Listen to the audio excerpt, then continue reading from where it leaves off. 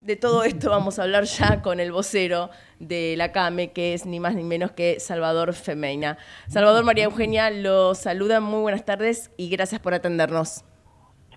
¿Qué tal? Eh, la, la, comunicación no es buena, eh, sale muy entrecortado. A ver si ahí la podemos mejorar un poco. Javi está acá en los controles. ¿Ahí me escuchan un poco mejor? Más o menos. Ahí está un poco mejor. Un poco mejor, genial. Salvador, le comentaba que las, tengo varias declaraciones, pero la última, la más fresquita, recién salida del horno, es la de Alberto Fernández. Recuerdo para la audiencia. Sí, acabo de verla. Ah, acabo de verla. Divino. bueno, no, recuerdo para la audiencia que es el presidente, pues está un poquito ausente últimamente, y cuestionó a los empresarios y gobernadores que no pueden, que no quieren, dijo, pagar el bono. Sí. ¿Qué, ¿Se sintió tocado? Dígame, por favor, su opinión. Sí, son, yo, creo que son opiniones políticas. Eh, preferiría directamente no, no tomar en cuenta ninguna de ellas, porque la, la verdad que la, la realidad este, supera la, la ficción, ¿no?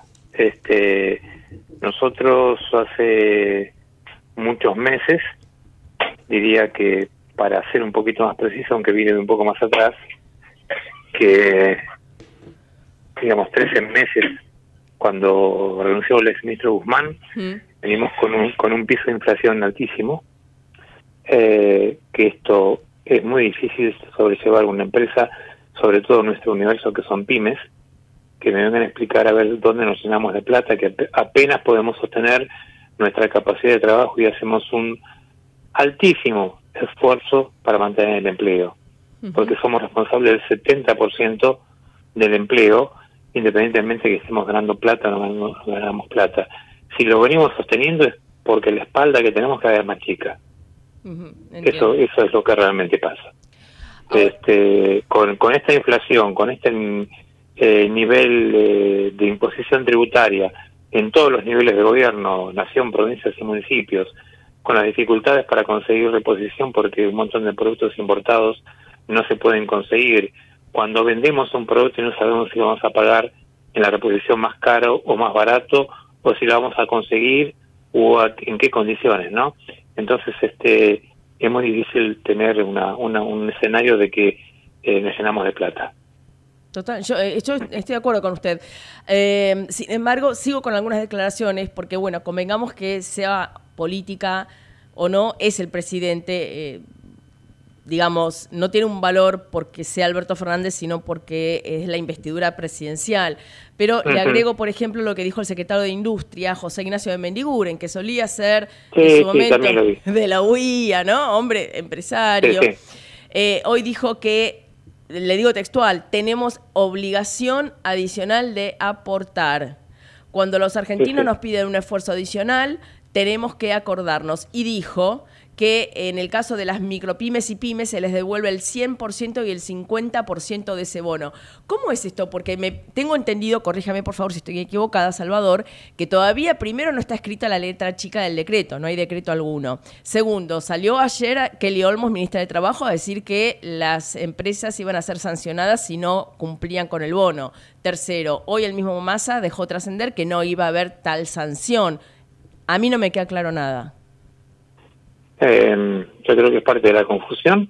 Mm. Eh, estamos todos inmersos en una en un mar de conjeturas porque no no hay una norma legal escrita todavía ni publicada, no hay nada que tenga fuerza de ley que verifique esto que se está diciendo. eh, y aparte, yo creo que están fuera de la realidad con lo que están diciendo. Eh, respecto de los mecanismos de compensación, primero que tenemos experiencia que lo que se dice que se va a compensar, mm. después cuando se escribe la norma es distinto. Sí. Eh, 100% hasta el límite de lo que sea la contribución patronal que está compensando. Correcto. No es el 100% de, de, de lo que estamos pagando por lo que vamos a pagar como abono. El 50% va a ser para las pequeñas empresas y el 100% para las micro. Ahora, lo que ignora acá el secretario es que eh, hay un problema financiero. Yo lo recuperaré, pero primero tengo que pagarlo. Hay un problema inflacionario. Cuando usted se lo devuelvan, no va a ser lo mismo. Sí, sí, no, y aparte una, una cuestión de que si yo no lo puedo pagar, seguramente voy a tener que conseguir algún costo que no tengo, no tengo previsto para conseguir el dinero. y hay que ver cuándo me lo devuelven. Porque vamos a ver si es inmediato. Si yo lo pago al 15 de septiembre, lo empezaré, tendré posibilidad de recuperarlo por, por una deducción, ¿eh? Porque hay que ver la norma, eh, recién a mediados del mes siguiente. Entonces, con esto así, de esa manera, no queda conforme nadie. Insisto, el primer tramo, el primer bono eh, sería en estos días, eh, no sé si el viernes, corríjame. Sí, por lo que dijeron en el anuncio, eh, dijeron que había tiempo a, pagarlo hasta el 15 hasta el 15 de septiembre, o sea, por fuera de la liquidación de los sueldos. O sea, esto nosotros no podemos esperar, desde el lado de los estudios, este, no podemos esperar que salga una norma que supuestamente va a salir, que no sabemos en qué momento salir, los sueldos ya tienen que estar liquidados. Exacto. Además, muy raro, ¿no? Yo entiendo que estamos en la era de la hiperconectividad, etcétera, etcétera, pero estas medidas las, las dio un domingo por Instagram el ministro de Economía con una onda de youtuber impresionante. No me parece muy serio. Es una opinión mía, totalmente personal, pero no me parece muy serio. Sí, sí. sí, sí. La, verdad que no, y, sobre todo en, la condición que estamos todos, realmente, a ver, se dicen, hay que paliar la situación de los asalariados por lo que significa ¿Cómo se piensa que nos impactaron a las micropymes? Claro, claro. Además, eh, todas estas medidas que están dando son hasta eh, octubre.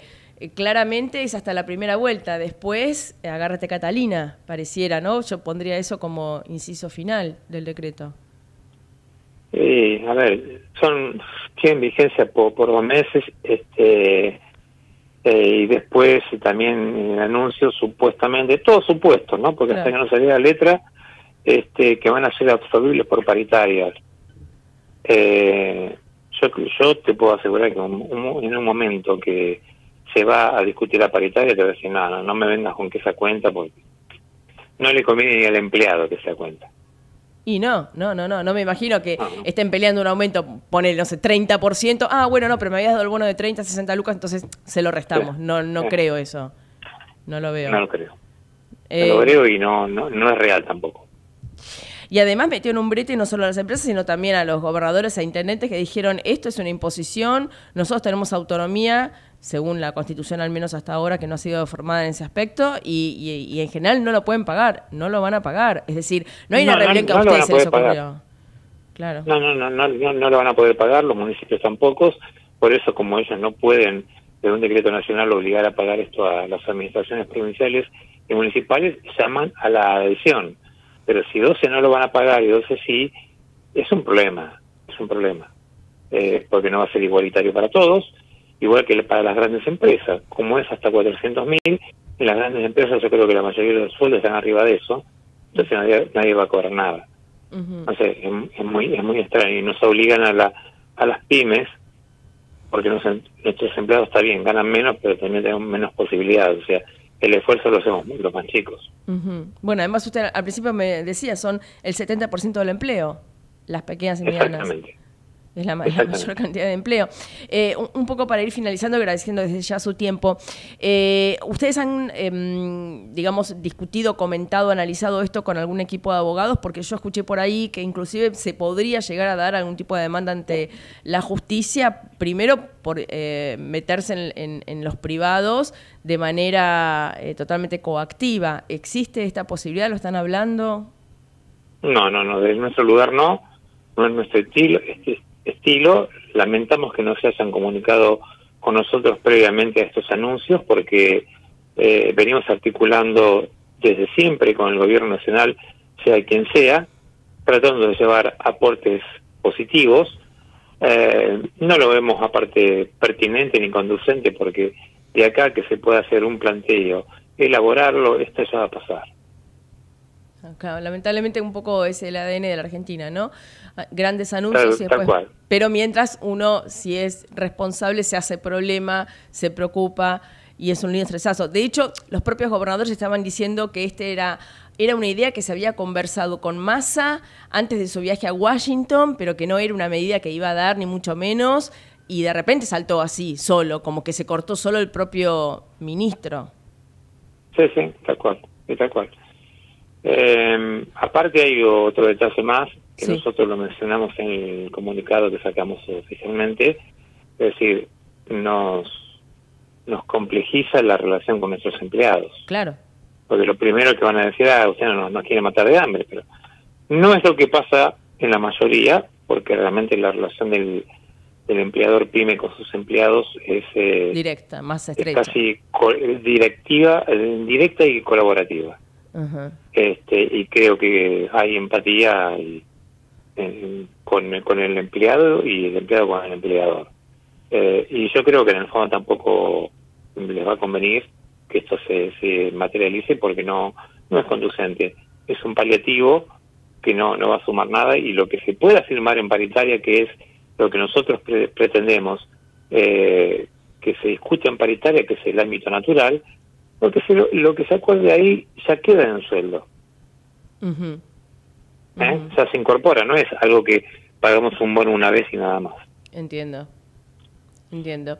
Y un poco para finalizar, eh, Salvador, ¿cómo, ¿cómo estuvieron las ventas en, en el último digamos, hubo Día del Padre, hubo Día del Niño hace menos tiempo, fines de semana largo, ¿cómo está el consumo? No, el consumo está para está para abajo. Eh, los últimos dos meses, junio y julio, con un promedio negativo de 3,6%, es mucho, es mucho. Sobre todo el de julio, porque lo estamos comparando con un julio del año pasado que fue terrible, porque fue el mes que, que renunció el ministro Guzmán. Este, y en estas condiciones este, no creo que haya posibilidad de que se recupere.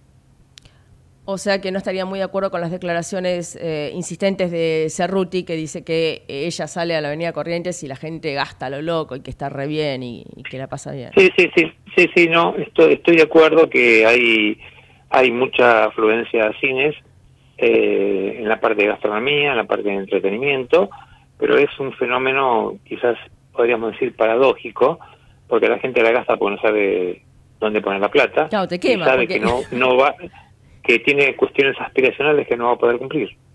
Claro, porque, eh, a ver, más allá de la suma que se le ocurre al gobierno, mañana que, digan que pongan 200 mil, un bono de 300 mil pesos, si no paran la inflación, tampoco eso sirve, porque lo, lo que se come todo es la inflación.